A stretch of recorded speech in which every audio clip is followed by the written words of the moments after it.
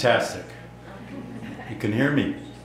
Uh, wonderful start to this, to tonight's uh, conversation. I'm making this as conversational as I can. We want to continue this dialogue. And the, there's some places that I had some selections from uh, Manitos Comanchitos that I was going to read you. And, but instead, I'm going to quote the, uh, the Taos News article that we had this morning. Um, Ivan Pesquera did a really fine job of uh, putting it together.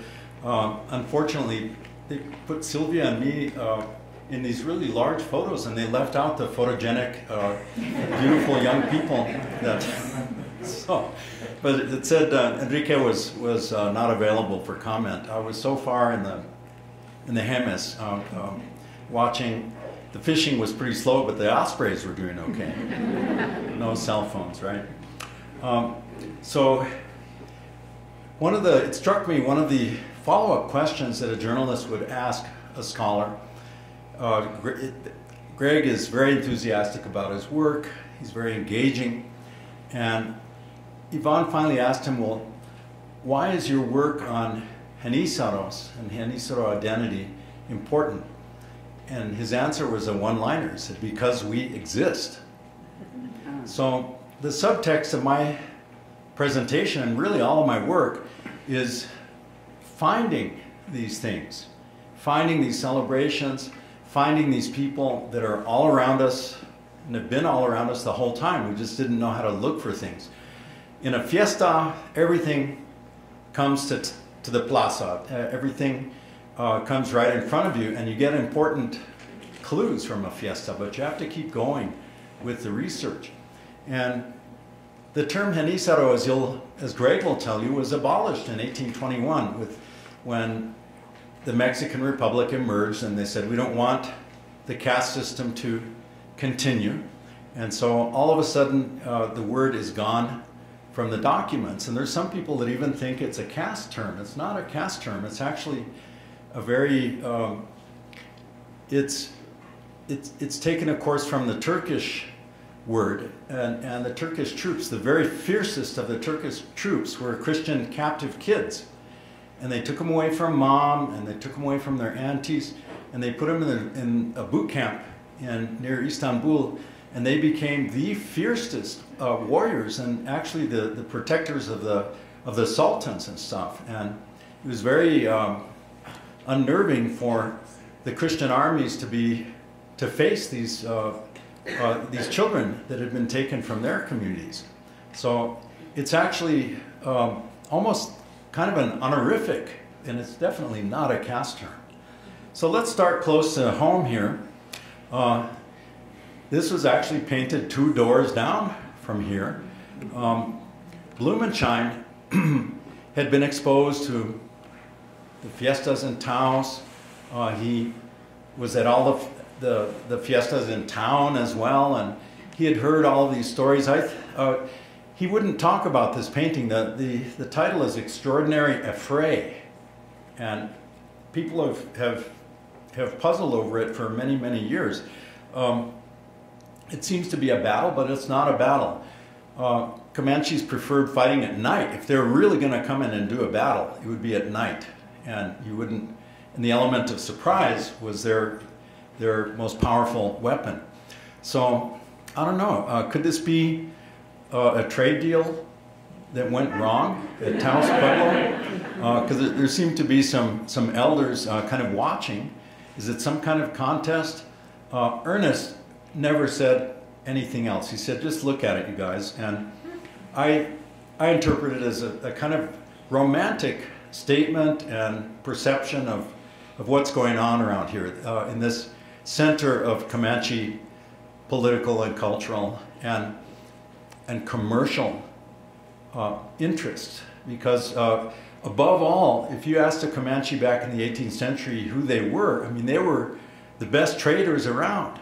They were, uh, they had the, the, the hottest economy, not only on the southern plains, but they, had they were licensed to trade clear down to to Mexico, we found documents of uh, buffalo tongues. They would pickle them and salt them and take them way down to Mexico, and they could get 10, 20 silver pesos for a buffalo tongue down at the trade fairs there.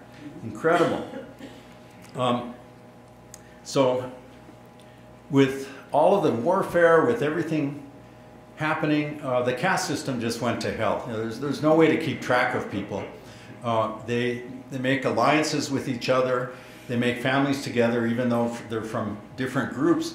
And my favorite caste term is coyote. It's, our, it's probably our favorite one in New Mexico because it survived into modern times. Back in the day, uh, people, you find it in the documents, people would say coyote de Navajo, coyote de Apache, which meant you were half uh, Hispano-Mexicano and half uh, indigenous. And today it means uh, half Americano and half Hispano-Mexicano.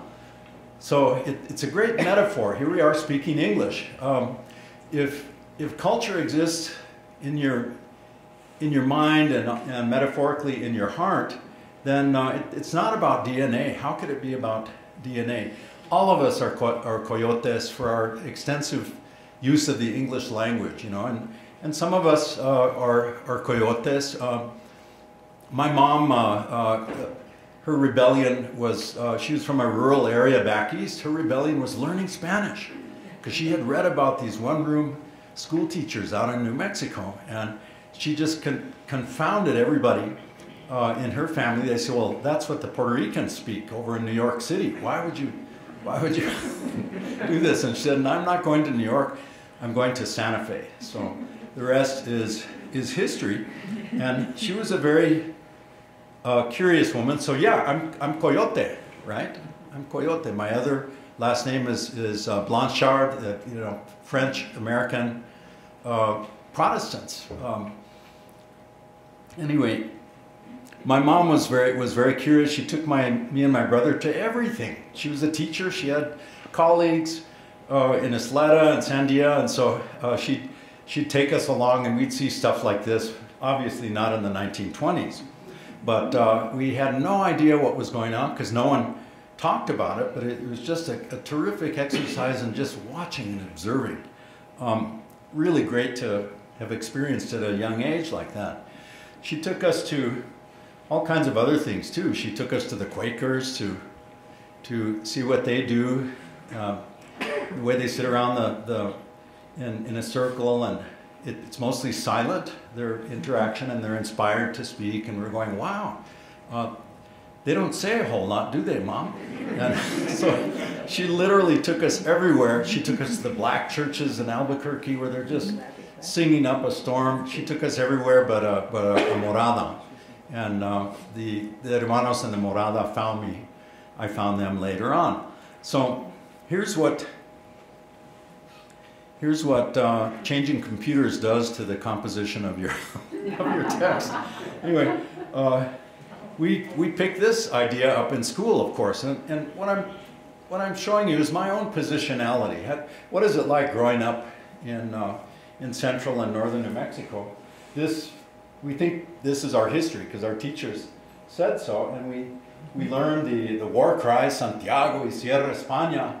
Um, this, is, this is what you hear before you get lanced or before uh, uh, they shoot you or something.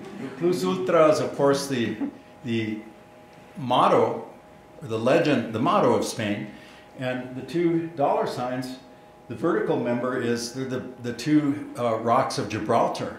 And, and the S's, what look like S's are actually little banners where it says plus and ultra. And Spain is saying, our future is not in Europe. Our future is, is, is above and beyond everything else. And we're just going to go get it. We're not just going to sit around Europe. Um, and so what else did I see? Uh, in college, I had a, uh, an Irish girlfriend who grew up in, in Corrales and was the only Anglo student in, her, in the Lady of Sorrows uh, school in, in Bernalillo, and, and she says, no, I'm not Anglo, I'm Irish. Okay, so I, I learned a lot from her. She said, well, I, am taking you to the Matachines. I said, and so we, this is what we went and saw. Obviously, I didn't have a camera, but, but I, I was amazed. I was uh, just you know what it feels like to see the Matachines for the first time. It is, it is really an inspiration. Because um, first you see it in, a, in an Hispano village, and you can go see it in the Pueblo, and you say, why is this shared when so many other things divide people? Why does this unite people? And so then my attachment to Taos, you know, by, by the early 70s, I was coming to Taos. Uh, we'd be sitting uh, in the portal in front of Dr. Dominguez's office watching the parades, and, and here would come the Comanchitos. Here's, this is, uh, Greg the other day found a Russell Lee photograph of the Comanchitos in the, in the, in the town's parade, just like they were last, you know, a few uh, weeks ago. And I looked at them, I listened to the music, and, and I was amazed. I said, who are these guys? Who are these guys? Uh, my first, my first theory was maybe they're Boy Scouts, maybe they're, maybe it's a local Order of the Arrow or some imposters, some imposters or, or cross dressers or something, and and and of course, uh, Genizaros and get accused of this stuff all all the time. You guys are phonies. You guys are imposters. You guys aren't. Uh, don't have any authentic, cultural authenticity or authority at all. We're just going to erase you. And they've those uh, ethnic boundaries are, are, are, really pretty heavily policed by everybody from ethnomusicologists and, and professors to, uh, uh, to Indian activists, you know, who, who uh, get really upset when, when they see indigenous groups without indigenous credentials, with no tribal IDs, right? So who are these people? And Anita Dominguez, my, my suegra, my mother-in-law, said, you know, uh, all of these little kids came through my class, and for show and tell, they all brought in their plumeros. Some of them brought in their little tombes, their little one-handed drums that you see them playing here. That's the Tewa word for drum, by the way. Um, some of them bring in a little chimal. The kid on the left is carrying a chimal, and it's almost like a drum. That's the, that's the Nahuatl word for shield, as it turns out. And she said, There's something going on over in ranchos. Uh, there's families, and these songs are getting taught uh, by elders to little kids. The little kids dance when they get old and stiff, then they sing and teach the songs. And this, this is a long, uh, firmly rooted uh, tradition. So I, I, I'm a curious guy, and I hightailed it over there. Um, whoops, one of my pictures disappeared. But the other thing I saw in the early 70s were the Azteca groups coming through, and, and uh, I remember uh, the, I remember when they came in about 1972, it was part of the, the Chicano movement, right? Um, so uh, what are you going to see? What are you, what are you going to hear? Then all of a sudden, my tia Fermilia, my wife's aunt, worked at the, at the archives in Santa Fe. And she said, oh, you've been in California studying Latin American poetry. Oh, what do you know? Why don't you read a poem from New Mexico? And she handed me a copy of the manuscript of, a, of an 1865 copy of Los Comanches. And I sat down and I said, wow, look at, look at these names. Uh, there seems to be battle scenes. There seems to be all kinds of stuff going on here. And uh, a friend of mine was Don Cutter, the son of the famous history professor by the same name, and he was encouraging me. He said, you know, Enrique, these are historical figures that are in action in this, it's a folk play. And then I checked in with my, with my suegro, with Dr. Dominguez, and he could recite a lot of the speeches. He'd get up and, you know, del oriente al poniente, del sur al norte frío. It's, it's an invocation to the four directions before a battle, right? uh, suenen brillantes clarines y brilla el acero mío. I went, wow, where did you learn that? The plaza in Chamisal. Did, did they come out on horses? No. But half of them were Comanches and half of them were Spanish, and we, we traded all these arengas. Arengas are harangues. Harangues are, is what a coach does to the football team, what the, what the uh, officer does to the men before battle, okay? So this starts building up. And boy, when I when the, the, the last time the college in Española disintegrated was about 18, 1985. About a third of the people lost their jobs there, including myself. And that's when I got my job at UNM. And, and boy, the whole family, the whole family walked to Chimayo that year. So we know all about Chimayo. And so here's a, we did a project of interviews and photog- for photographers. So that was the stuff that I knew.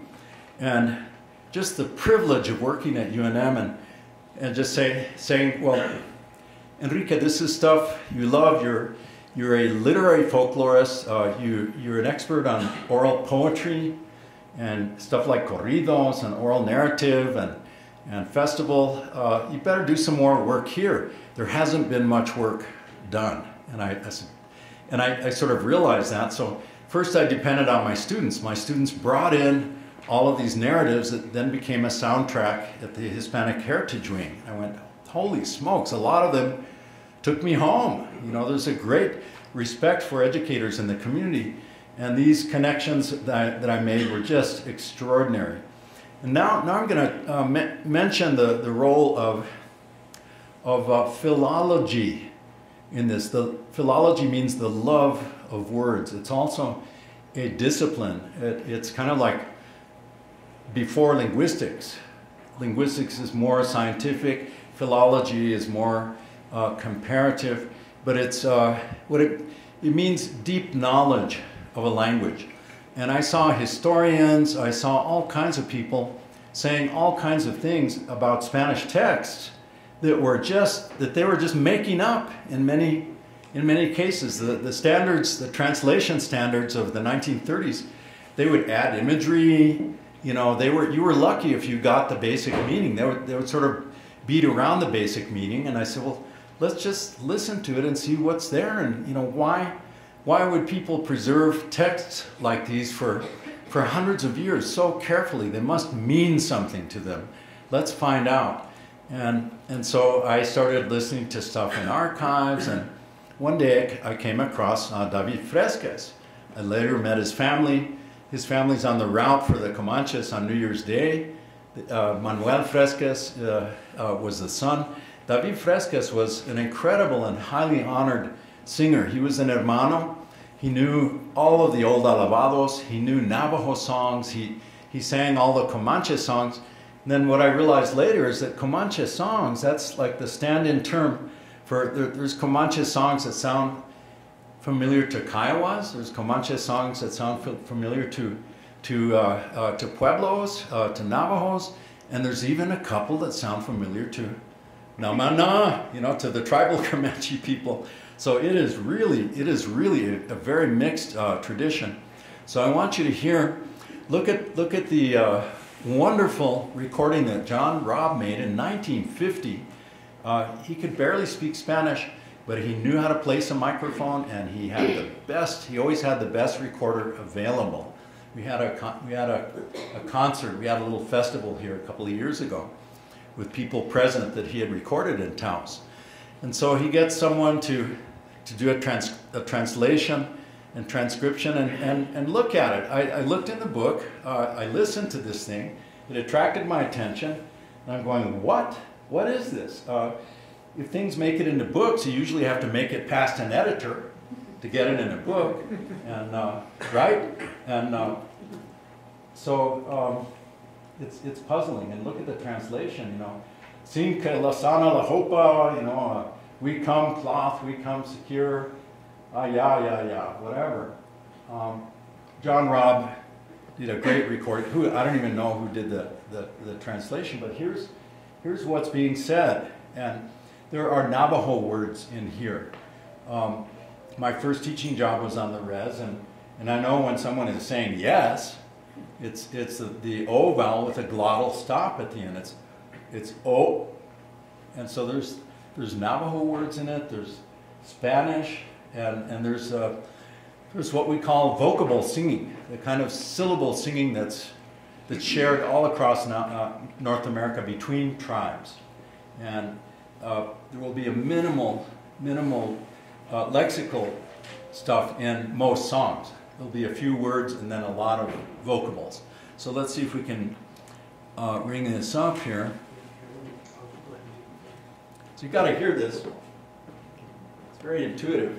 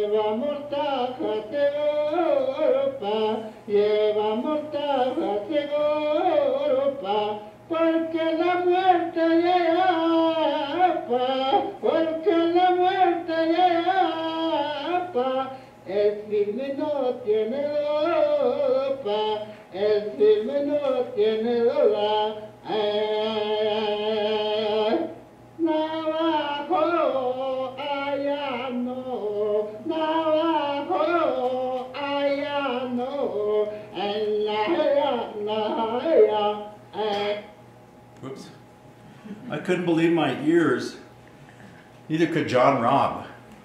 We, we got permission from the family to, to use this in Hermanitos Comanchitos. And the people at the library were saying, we don't know who these people are. You're never going to find them. And I said, I know, I've, I've been to their house. I know, I know the grandkids. I took Francisco, I took Greg's grandpa, and we had a ceremony of signing the papers, and I gave him copies of all 20 songs that their, that their grandpa had recorded with Robb. And here's what he wrote. I'm inclined to think that the origin of the Indita, this is the general category, anything that has to do with the, with the natives uh, uh, Hispanic interface, Inditas, the or, I, am inclined to think that the origin of the Indita is, is as natural as a mixture of Spanish and Indian blood by intermarriage. In one instance, I encountered what appeared to me to be the missing link itself. Um, it seemed to me to be an electrifying discovery. My friend, an informant, David Frescas, who told me that he was of mixed Spanish and Indian ancestry, was singing for me in Taos. It was unmistakably an Indian type of melody, but sung to a mixture of Indian syllables and Spanish words. Okay, so he knew he had something special, but he had no idea what it was. It's a warning. It's a warning by somebody who knows Navajos, by someone who's uh, respected by his Navajo friends, and it, it's, it's a story from a long time ago. The message, don't take your sheep too far west. We know the grass looks really green over there, but if you were to take your sheep too far west, you might as well leave your sleeping bag home and you might as well take your winding sheet because they're going to if you get if you ever make it home you'll be brought back in your mortaja or they'll have to bury you out there and so it, it's an admonition a very powerful one so one thing leads to another all the clues uh, start falling into place um, it takes years and years to put these stories together. Uh, you realize that, that the conquistador thing is, is a fantasy heritage. And it's made up of real people who really believe it and, and get plenty out of it. But uh, uh, I was a member of the Cofradia of, the Conquistadora. It, it, only cost $3 a year. And uh, I was in the procession. And uh, it, it's an amazing it's an amazing um, twist on, on history, let's call it. Um, then the, the Aztec stuff, as it turns out, and this, these pictures aren't the best pictures, I was realizing that the Aztec stuff um, came from the 1920s when the government said, okay, we're going to honor we're going to honor the classic civilizations of Mexico and we know what the costumes looked like, but we don't have a great idea of what the songs were like or the choreography. So let's, let's commission some groups and see what we can come up with. That's how it started.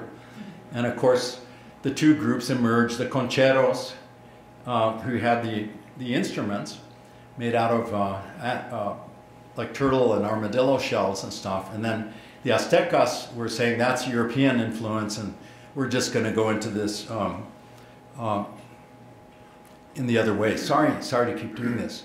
Um, another, another herencia in New Mexico, a very important one, is the the the Jewish the Jewish um, exile. The the so many so many Jews came to New Mexico. It's uh, the DNA is here.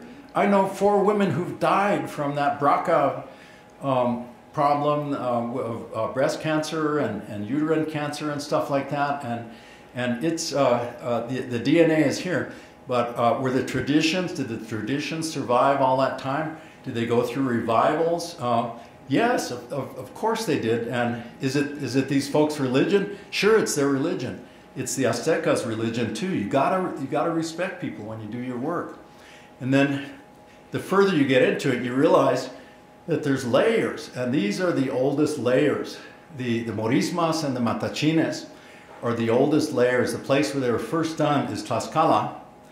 And of course, uh, where are the Moros? There aren't many Moros around. When, when Europeans first came to Mexico, they thought Indios were, were Moros, and they would speak Arabic to them and stuff. You know, they said, no, they're definitely not Moros. And so uh, the plays, the plays and, and the songs and, and the style of celebration just kind of shifted and into this new subject area that was right at hand, the Comanche stuff. And so you get further into it and, and, and you start learning about Pueblo culture as this uh, center space. Um, and of course, we're northerners, but where did this idea of, of norteño start? It didn't really start with, um, with the, the, the, Spanish Mexicans. Uh, maybe maybe in the, in the 1530s, a lot of them were actually Spanish and from Spain or something, but the, the big idea was to come north. So, uh, Central Mexico is really too full of people. Let's go north and, and make our fortunes.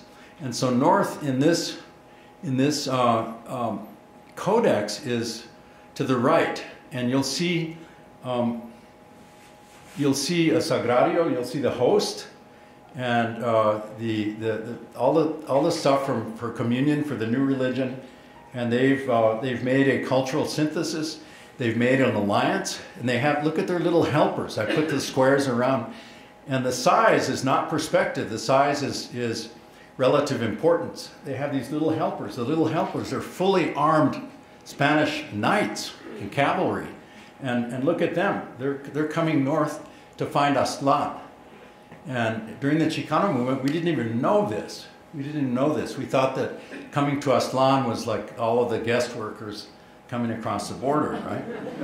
Um, a lot of Nahuatl speaking people came up. Um, I'll run through it. Um, here's Coronado. Thousands of thousands of, of Indian volunteers just showed up. They didn't have to draft them.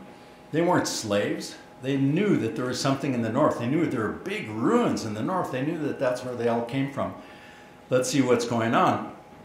Coronado had a bunch of uh, Purepecha speaking people, Ter- Tarascans. He had some Mexica. And uh, uh, Coronado was a, was a thug. They had abolished the, before 1540, they had abolished the whole concept of conquistador.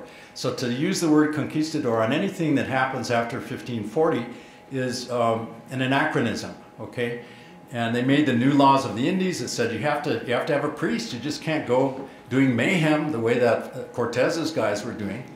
And um, so that's Coronado.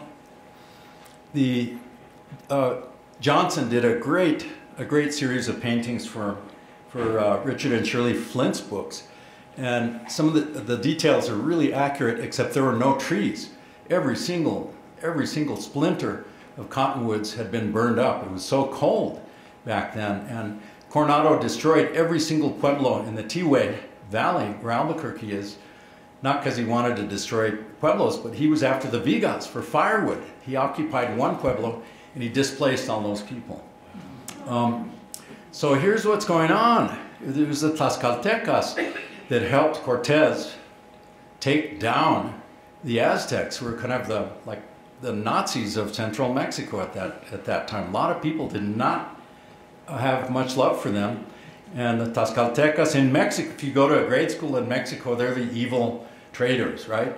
But if you go to Tlaxcala, this is how they think of themselves. We are the pioneers. We are the pioneers. We had a vision of ourselves in the future, and a lot of these other groups did not. And in 1591, they got relicensed, and the license is actually a beautiful document um, ordered by the king through the viceroy. Uh, they become hidalgos. You don't think of Indians as being hidalgos. Tlaxcaltecas were hidalgos, okay? In per perpetuity, protection from their, uh, for their barrios and lands, protection of agricultural fields. Uh, they would always live on the other side of the river from the Spanish because uh, there were no fences. Uh, and if, if the Spanish animals came over, they had the right to to, to kill them if they wanted to. They had protected fields. and they, they had free, they were free from servitude or income tax and all of that for three centuries, for three centuries from about 1521 to 1821. And they're the only uh, indigenous group who had the right to, to ride horses with saddles armed, okay? And uh, they have their own uh, self government. Um, in Tlaxcala, they believe that they were the founders of Santa Fe, among many other cities, including Monterrey and Saltillo and, and, and a bunch of smaller towns. Um, here's what their plaza looked like. They were total equals. There's this, you can tell the Spanish side, you can tell the Tlaxcalan side pretty easily. So here we are. Here we are. Let's all go to New Mexico. The big question, question is, did, did they come? Well, some of them did. It, it wasn't as totally organized as uh, the, the foundation of Durango and a bunch of other cities that, are, that we have the documents for, but they, there were individuals that came to Santa Fe. Um, so here's the project. It's a kingdom. The kingdom needs legitimacy. It needs kind of royal legitimacy. It's not about Oñate, it's about his son. Because through in his veins he flows the, the blood of Cortez, his grandfather, and Moctezuma, his great grandfather, through his mom, uh, Doña Isabel Cortez Moctezuma. Uh, so here's how they do it down in El Paso. The mariachis play, and the flamenco dancers do it, and it's an amazing little celebration. Um, we love our American customs like American exceptionalism. And you guys thought you were first in Plymouth. No, no, no, no, we were first. That's our American side, right? Uh, so here the celebrations that started in, in Tlaxcala, the, the, uh, the Morismas, the Cristianos stuff. Here's the big moment. Here's the big fantasy. It's the big crusader moment. It's when the Gran Sultan becomes a Christian. And the fantasy is that maybe Osman, maybe Suleiman, maybe Boabdil, maybe Osama, maybe Hussein, maybe they will become Christians after we show them our military might. So it's, it's a fantasy that's many centuries old. Um, and of course, the Matachines is a is a, a representation and drama, dramatization of all of this in in uh, in dance form. Um, and I'll refer you to uh, to my colleague uh, Sylvia Rodriguez's excellent book on on the topic. Um, in Mexico, they call this La Danza de la Palma, and the other, the other kinds that they do down there, they have different names like La Danza del, uh, del Arco, because uh, they dress they dress all differently, and they have these little bows and arrows that don't shoot the arrows, but it's a kind of percussion instrument, like in Las Cruces. So, so here's all these Mexican Indians, and they settle across the river in Santa Fe we don't have the only uh, Analco. Uh, there's an Analco in Durango. It's called Analco. It's right across the river. That's what the name means. And so, uh, within, after the Pueblo Revolt, within 80 years, it's a Genízaro town. It starts as a Mexicano town, and the Mexicanos become Genízaros, and all the other Genízaros coming in from all the other victims of the war, you know, the perpetual warfare that were going on. They came into Santa Fe. This was their church. Um, this was this was one of the important uh, virgenes. Uh, everybody knows about the Conquistadora. This virgen, this painting is a painting of the Pueblo Revolt. A lot of people have never seen it. We own it now in the state of New Mexico, thanks to Charles Collier. Um, and this is this is very rare. It's a, it's a statue. It's in the most important Franciscan church in Mexico City. And a little girl, the governor's daughter, had it. She was, it's a little statue like that. Duran, the next to the last governor, Diego Duran, his daughter got very sick and she started hallucinating. And the Virgencita talked to her. She said, In four years, in four years, Santa Fe will be in ruins make sure to tell your dad. And so she told her dad, and he said, Yeah, I know we're in trouble, but what are we supposed to do about it? Well, one of the, when, when the Indians from Pecos uh, crossed the river, they picked up some of these macanas from um, the Mexican Indians that, uh, in Analco, they had them like souvenirs, those obsidian edged, they, they kind of look like uh, cricket bats, but glass edged.